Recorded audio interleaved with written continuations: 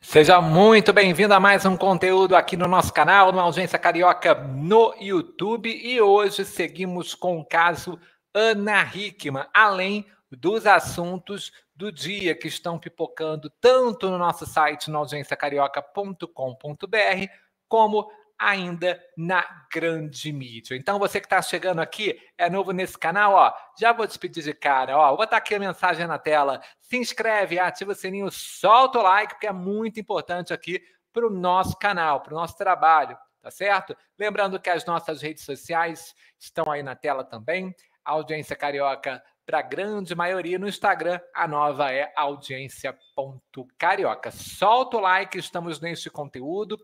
É, hoje estamos no formato estreia, e aí qualquer atualização que venha acontecer nas próximas horas de alguma notícia que nós é, abordarmos aqui, perdão, a gente comenta é, na próxima live que vai acontecer amanhã às 10 da manhã quando nós vamos falar de A Fazenda. Fechado? Então, ó, chave Pix aparecendo na tela, você pode mandar aí a sua contribuição se você puder e também participe no Superchat, o chat está liberado, lembrando que a gente está no formato estreia. Começando quando a gente está aqui é, trazendo esse caso da Ana Hickman, vocês já sabem que a gente sempre faz é, a campanha. Se você presencia, se você é vítima de violência doméstica, denuncie, está aí o telefone na tela, Central de Atendimento à Mulher 180. Faça a denúncia, dê um basta, não aceite, porque é fundamental até para que se evite outros problemas além do que você possa estar ou presenciando ou mesmo vivendo, né? Cortar o mal pela raiz. Então, denuncie, procure as autoridades, procure a polícia, procure a delegacia da mulher e peça apoio, tá certo? Então vamos começando aí falando do caso Ana Hickman, porque temos coisas a tratar. E a última notícia aí que pipocou nesta terça-feira gira em torno é, de uma possível separação, de um possível divórcio. Né? Está confirmado oficialmente? Não, não. Mas vocês já viram que a Ana apareceu ontem sem a aliança no, do casamento, né? O objeto né, que, que sela toda a união de 25 anos com Alexandre Correia. Ela esteve no Hoje em Dia ontem, hoje ela não fez, a gente vai falar disso também. E ela não usou aí, portanto, a aliança. Então, a indicação agora é que Ana pode se separar aí do Alexandre Correia a qualquer momento. Essa matéria do Gabriel Vaque, que já está aí na tela, vamos ler juntos, ó. Ana Hickman diz a colegas que pedirá o divórcio. Agredida pelo marido, a apresentadora mantém a discrição por causa do filho. Declaração sobre separação foi dada a companheiros na Record TV. Ontem a Ana esteve na Record. É, no seu primeiro dia de trabalho, mediante a todo esse escândalo que aconteceu. Ela não quis entrar em detalhes, mas ela agradeceu o apoio e o carinho. A gente comentou isso aqui no, no conteúdo de ontem, no nosso ao vivo é, de ontem. E aí, o Gabriel Wacker, em sua coluna no portal F5 da Folha de São Paulo, ele trouxe outros detalhes é, dessa história. Vamos aqui juntos conversar sobre isso. Segundo o Wacker está contando, gente, a própria Ana Hickman teria confidenciado a colegas da Record na manhã de ontem, quando ela esteve na emissora para fazer Hoje em Dia, que ela estaria é, próxima aí de pedir a separação do Alexandre. Para estes amigos, não são citados quais, por conta do sigilo de fonte, Ana ficou muito grata pelo carinho que vem recebendo e que vai tentar, segundo a informação do F5, tentar resolver toda esta situação de uma forma mais discreta possível, pensando no filho do casal, o pequeno Alexandre, de 9 anos. Tá? Eu falei 10 ontem, ele está indo de 9 para 10 anos. O menino, né, vocês sabem, presenciou a cena. Aliás, hoje o Léo Dias contou é, o que a Ana tanto conversava com o filho que irritou o, o, o empresário. A gente vai comentar isso daqui a pouquinho é, também com, com vocês. E o a pequena Alexandre presenciou é, essa briga do pai, que tem o mesmo nome, o Alexandre, com a mãe. né, que estaria aí muito abalado diante dos últimos fatos ocorridos. Né? É, segundo ainda a publicação, a Ana não desejaria ver o filho brigando. É, aliás, perdão, ela não desejaria que o filho é, visse os pais brigando, na verdade, né, é, publicamente por conta desse, dessa união que está numa fase aí é, conturbada, não é? E, portanto, ela teria tomado essa decisão de discrição, separação, divórcio, tudo feito ali de uma forma muito prudente. Né? É, o Gabriel Wacker contou também que a Record ofereceu para Ana Hickman a possibilidade dela se afastar do trabalho por alguns dias, ficar mais próxima do filho. Entretanto, a Ana entendeu que o melhor era seguir a agenda normalmente e trabalhar até para que conseguisse superar com maior facilidade todo esse embrólio vivendo aí é, na sua vida. Né? Estima-se que é um patrimônio envolvido aí de 150 milhões. A gente fala que essa separação, além de todo o problema que está ocorrendo aí no boletim de ocorrência, na investigação da polícia, né? a gente tem um empresário, né, o Alexandre, que é empresário da Ana, ou seja, um eventual divórcio, é, tem outro quebra-cabeça é, para ser resolvido. Sai o empresário, né? aliás, perdão, sai o marido, fica o pai e como fica a questão empresarial? Vão continuar trabalhando independentemente de ser ou não um casal? Essa é uma outra pergunta que vai ficar no ar aí. É claro, a gente vai acompanhar nos próximos dias se a Ana vai voltar atrás dessa decisão da separação, se ela vai manter o divórcio com o Alexandre e se ele continuará tendo alguma gerência sobre os produtos e a carreira da Ana Hickman, ele que cuida disso não é, há 25 anos. Tá certo? E por falar aí da Record é, ter deixado o, é, a Ana poder é, descansar, daqui a pouquinho a gente fala por que ela hoje não fez o Hoje em Dia. E põe aqui menor para a galera ler juntos. Ó. É, o portal Google Gloss conseguiu conversar com a assessoria da Ana Hickman para comentar essa matéria do portal F5. Né? A assessoria da Ana Hickman comentou a reportagem da Folha da seguinte forma, abre aspas, essa informação não é oficial. Desconhecemos a fonte. Fecha aspas, a informação da assessoria e, portanto, da apresentadora da Record TV. Achei uma resposta ruim. Né? Que a informação não é oficial, eu acho que o próprio jornalista falou isso. Né? Ele trouxe um bastidor. Se você ler a matéria, né, você percebe que é um bastidor, não é uma informação oficial. Né? É, desconhecemos a fonte. Né? Obviamente, desconhece a fonte porque é o sigilo de fonte é resguardado aí pela Constituição. Né? Vocês devem saber disso. A Ana já faz muito tempo programa policial, porque hoje em dia tem uma parte que é programa policial. Então, eu achei essa resposta e quase nada, para mim, é a mesma coisa. A única coisa aqui é, para mim, que não confirma, mas também não nega. Né? Eles não querem oficializar aí o que se caminha para uma possível separação e um divórcio aí entre o Alexandre e a Ana Hickman, que hoje é, não esteve na apresentação do Hoje em Dia, não é? E isso gerou uma dúvida aos telespectadores, já, por, já que ontem, não é, que tinha essa dúvida, a Ana vai fazer, não vai fazer, ela fez, é? No final, ela tocou sutilmente sobre o assunto, sem se aprofundar. A gente comentou ontem aqui, ela agradeceu o carinho dos fãs e hoje ela não fez. Né? A assessoria da Record, gente, mandou um posicionamento ao portal Notícias da TV informando o seguinte: abre aspas. Ana Hickman vai cumprir o rodízio de apresentadores. Ela estará no programa de feriado e na quinta ao vivo. Pausa. Então já tem um programa que vai ao ar amanhã e na quinta será ao vivo. Ou seja, de amanhã, gente, tudo indica que vai ao ar gravado, mas a Ana Hickman vai estar. E no de quinta, ao vivo, ela vai estar. Segundo a emissora, a Ana é, sabe da escala de, de apresentadores desde o início de novembro, né? Cada mês isso acontece.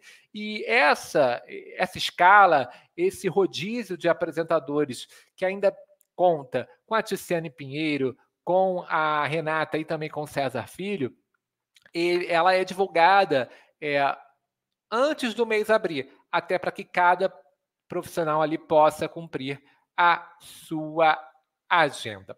Hoje também nós tivemos é, um posicionamento da irmã da Ana Furtar, aliás, da Ana Hickman.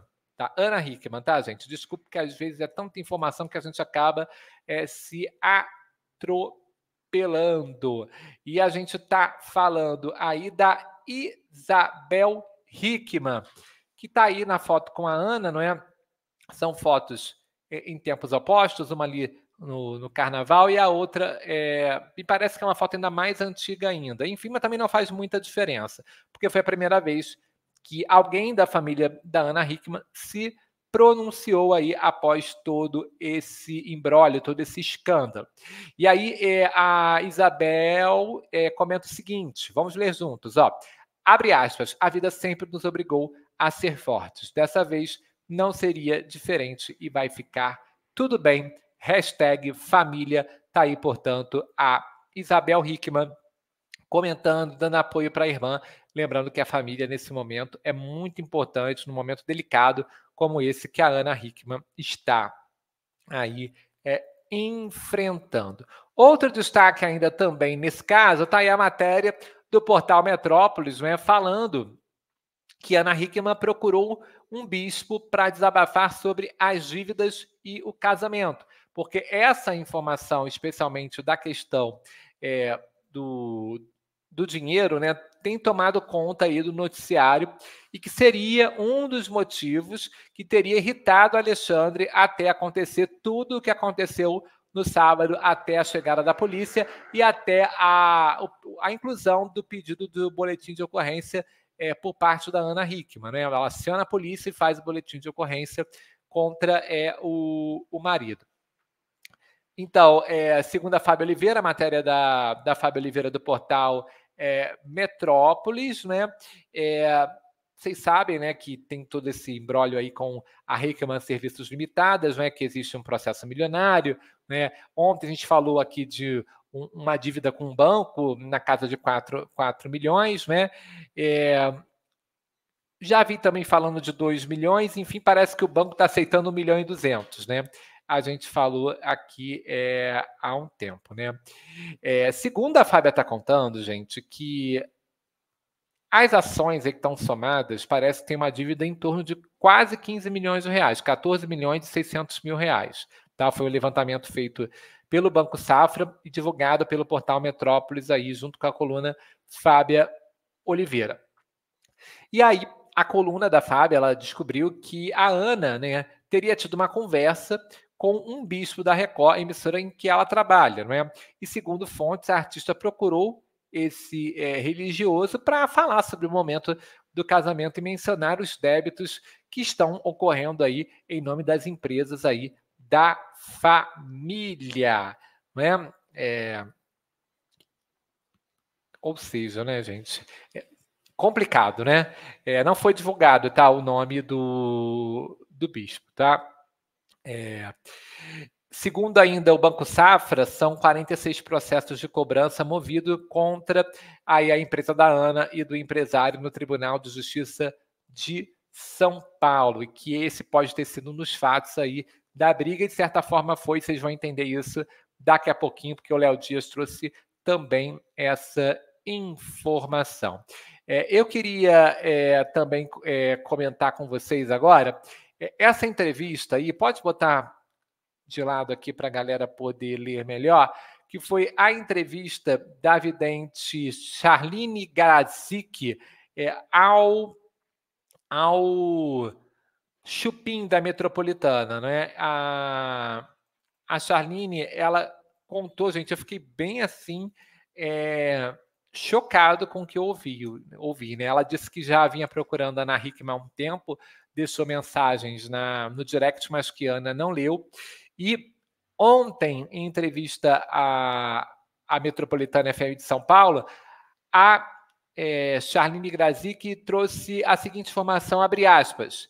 Na verdade, eu venho há mais de um ano avisando a essa moça, a Ana, Ana Hickman, só que muitas vezes acho que eles não veem o direct. Vou te dizer, ainda continuo vendo perigo de morte para ela, contou aí a vidente. Em seguida, a Charlene diz que a apresentadora do Hoje em Dia pode ter aí uma possibilidade de fechamento de ciclo na sua vida. Abre aspas, vou ser bem sincera, para quem sabe ela veja isso e se cuide. Alguma coisa em cima dela faz mais de três anos e logo pode haver um fechamento de ciclo. Portanto, a Chaline aí trazendo essa informação. Me chocou, me chamou a atenção. Né? É, é, Para quem acredita não acredita, a gente não, não tem nem como entrar aqui muito no mérito, né? Mas precauções sempre são interessantes. E segundo, os paranormais trabalham, eles justamente fazem para dar errado mesmo, né? Para que a pessoa tome as providências e evite, de repente, passar por um, por um problema como esse. Tomara que a Ana aí é, fique atenta né? Se ela acredita, obviamente, né? se bem que ela procura um bispo, geralmente quem procura bispo não acredita muito nessas coisas, mas se ela acreditar, tiver alguma fé, né? ficar um pouquinho mais atenta aí ao, é, ao que a paranormalidade está falando nesse momento. E aí, galera, tem essa outra nota agora do do Léo Dias, né, que vem contando o motivo da briga entre a é, Ana Hickman e o Alexandre é, e o Alexandre Correia, né? É, o portal Léo Dias trouxe com exclusividade, né, essa informação que pessoas próximas ao casal relatam que o Alexandre, antes de ter toda a confusão ali das acusações da Ana é, de tê-lo agredido, né?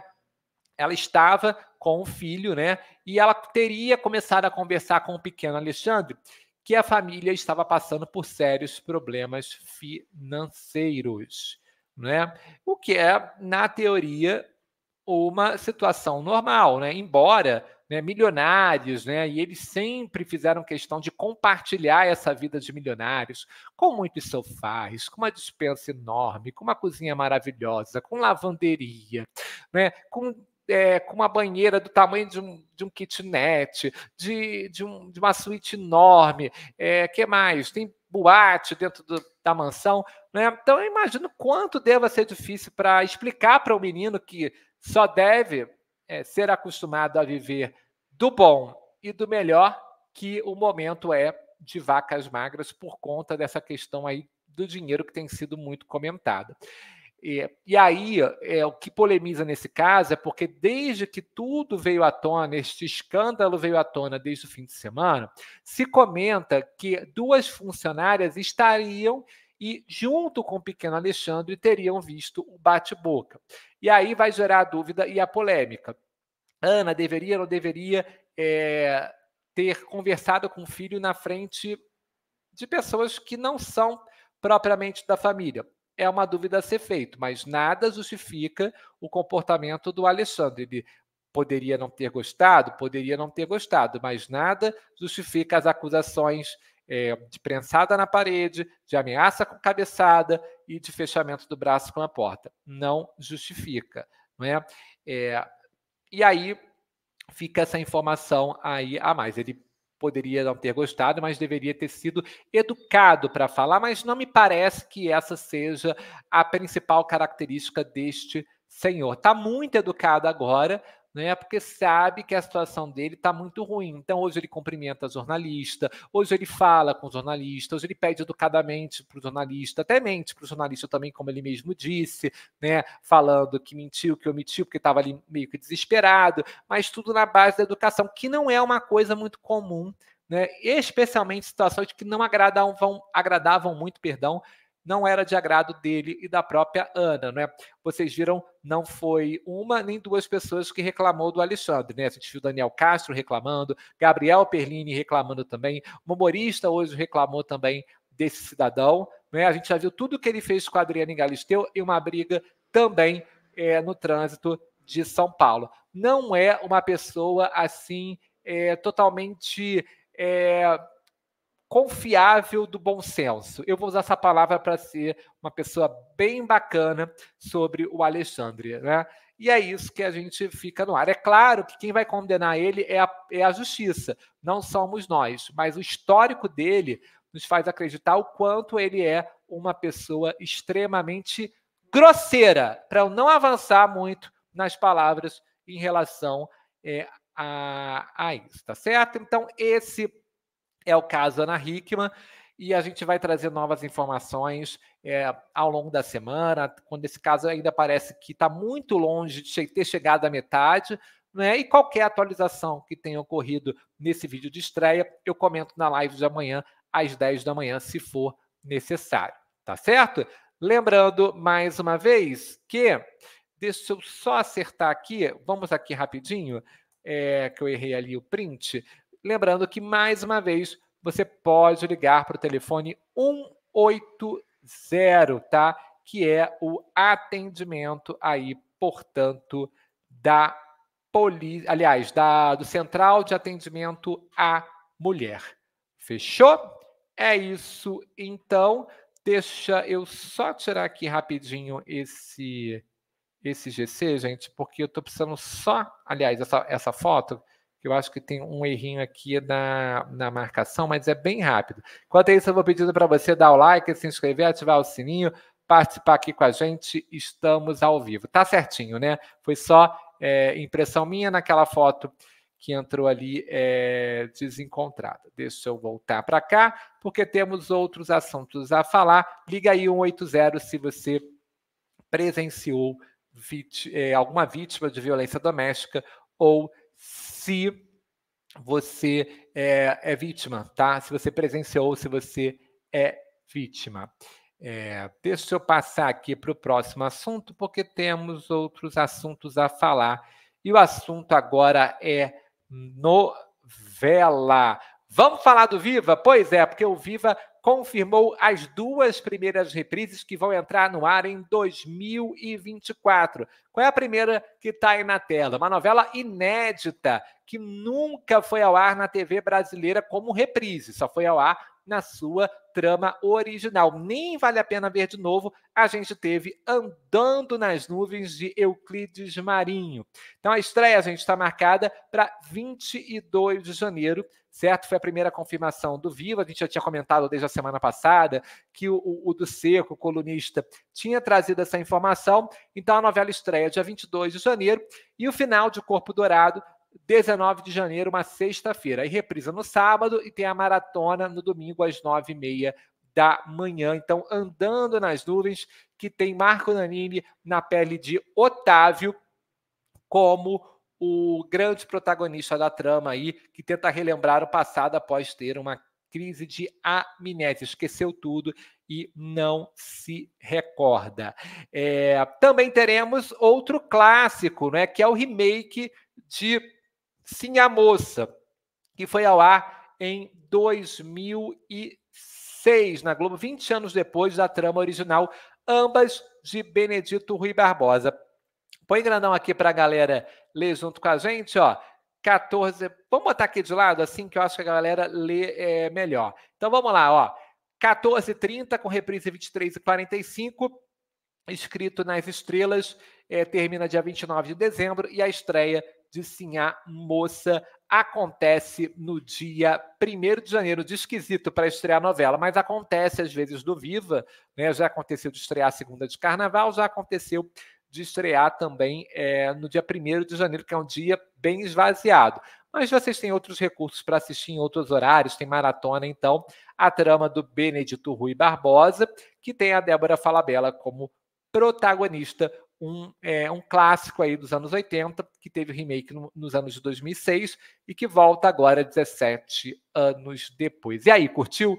Gostou? Gostou de Sim a Moça? Andando nas Nuvens, eu me lembro de ter assistido. Acho que era uma novela bem gostosinha de assistir. Tem Viviane Paismanter, tem Débora Bloch, tem Márcio Garcia, né? tem essa galera toda ali. Suzana Vieira também está Andando nas Nuvens, tá, gente? Então acho que é uma novela bem interessante para vocês conferirem, tá certo? Passando então para o nosso próximo assunto, por falar em novela, quem também confirmou que vai continuar apostando nas novelas mexicanas foi o SBT.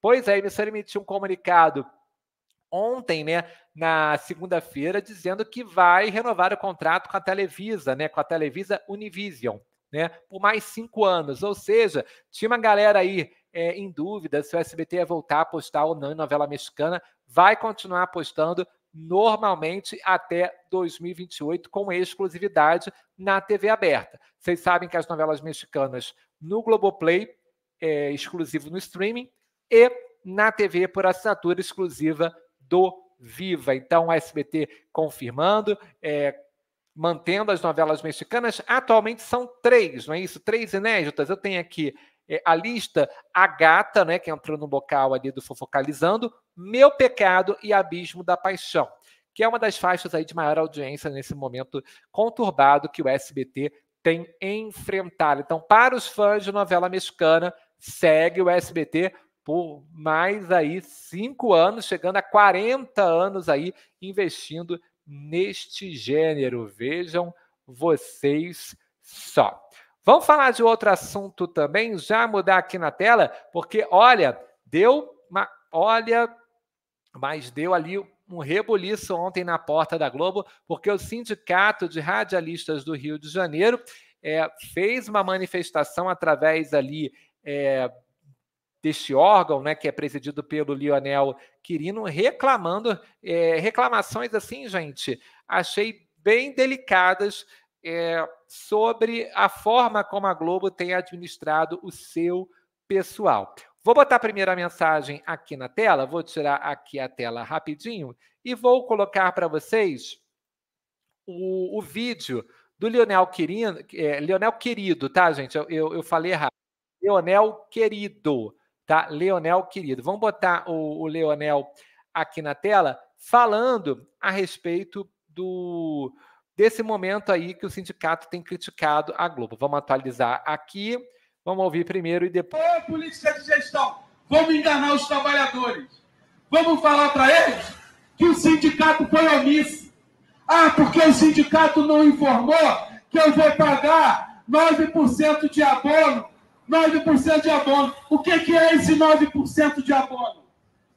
É um retroativo, porque eles já estão dois meses negociando além da database. Dois meses negociando, retroativo, é um direito, pô. Ah, porque o sindicato não informou que tinha 9%, 9% de abono, que nada mais é do que o retroativo ao outubro, que é o nosso direito. Daqui a pouco, a TV Globo vai querer, daqui a pouco a TV Globo vai virar para os funcionários e vai dizer assim: ah, mas o sindicato não informou que eu pago até a tua passagem para vir trabalhar. Ah, porque o sindicato não informou que eu pago até décimo terceiro. Ah, que o sindicato não informou que eu até deixo tu tirar férias. Eu não tenho nem palavras para qualificar o tamanho da cara de pau desses gestores. Eu não sei se isso é covardia ou se isso, na verdade, é uma canalice. Qual é a política de gestão? Portanto, já está repetindo aí o vídeo. Vamos ler juntos o, o que o sindicato é, publicou aí. Ó.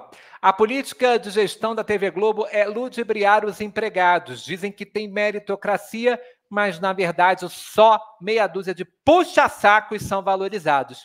Dizem que paga, pagam PLR, que é a participação de lucros, tá, gente? Mas esquecem de dizer que o salário está 6% de perda só nos últimos cinco anos. Dizem que valorizam os funcionários, mas rebaixam seus planos de saúde, impõem multifunção, obrigam a fazer horas extras não remuneradas e, para piorar, ainda demitem funcionários perto de se aposentarem que dedicaram décadas à empresa. Tem gente Perdão, tem muita gente adoecida na empresa tomando pé na bunda. Enquanto o sindicato existir, estaremos aqui para denunciar esses absurdos. Olha, achei uma denúncia grave, delicada, né? Mas uma denúncia de um órgão que acompanha, né? Porque a gente só acompanha o bonitinho na tela da Globo, né? A gente não acompanha o dia a dia do funcionário lá é, na, na emissora. Eu pedi um posicionamento para a equipe da TV Globo. Deixa eu dar uma olhada até aqui no, no meu e-mail. Não, não, te,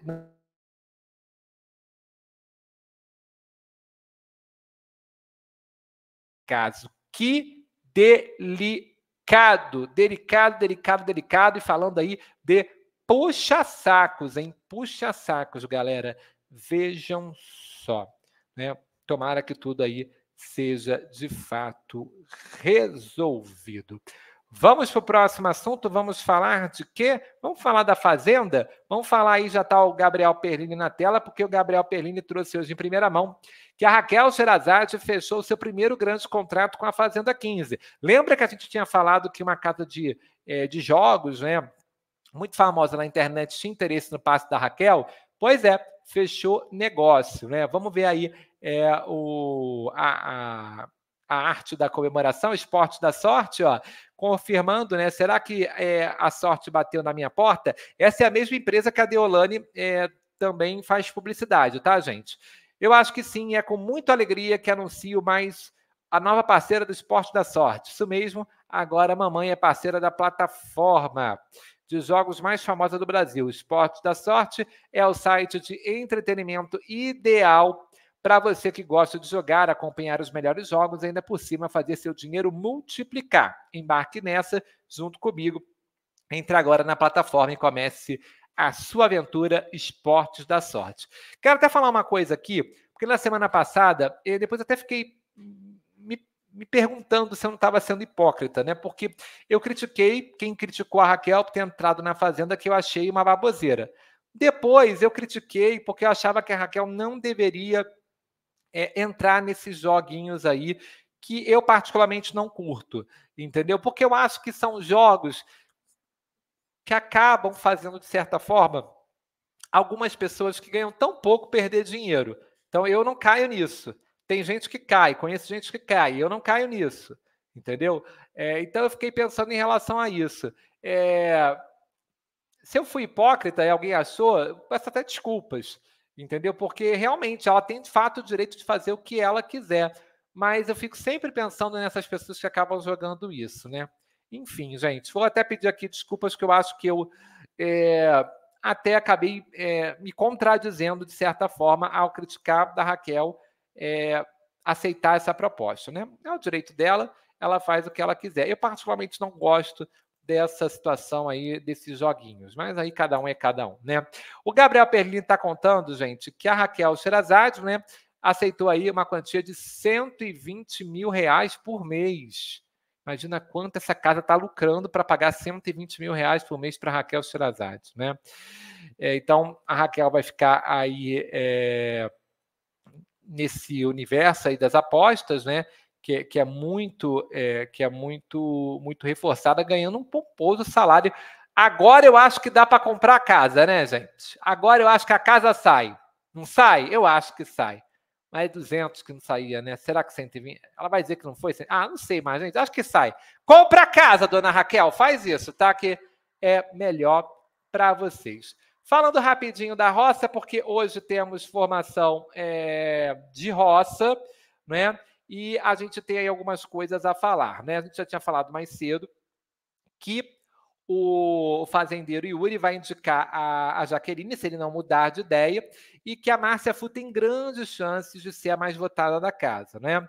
A Márcia Fu já falou agora há pouco né, que se ela for a mais votada, ela vai indicar o Sander Meca, né, com quem ela teve uma briga ali ontem, porque ela falou que a história dele era historinha triste. Né? Vocês viram, todos os dois estão meio é, brigados ali. O Paiol fechou em votar na Márcia, né?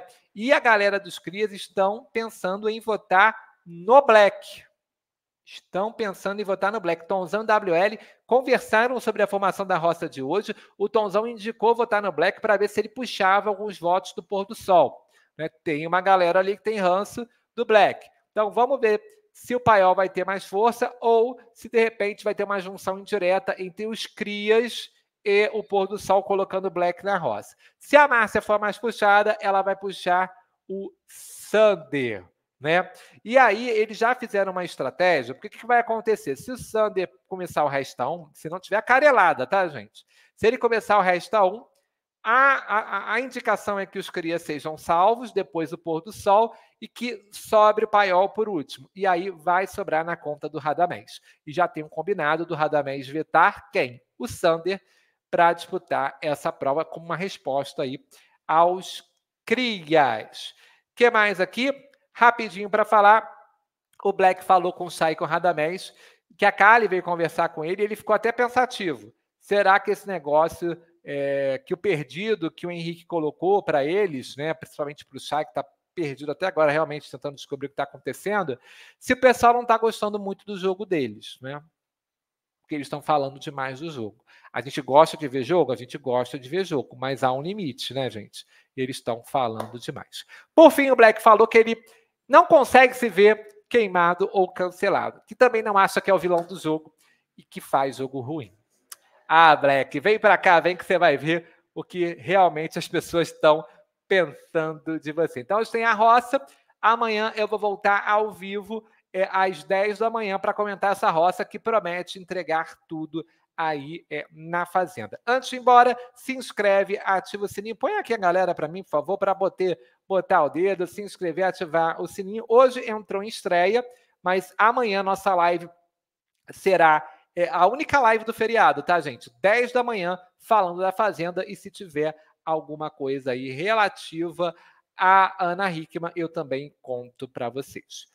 Um beijo a todos, curtam a noite aí, fiquem com Deus e eu volto amanhã, 10 horas. Te aguardo. Tchau, tchau.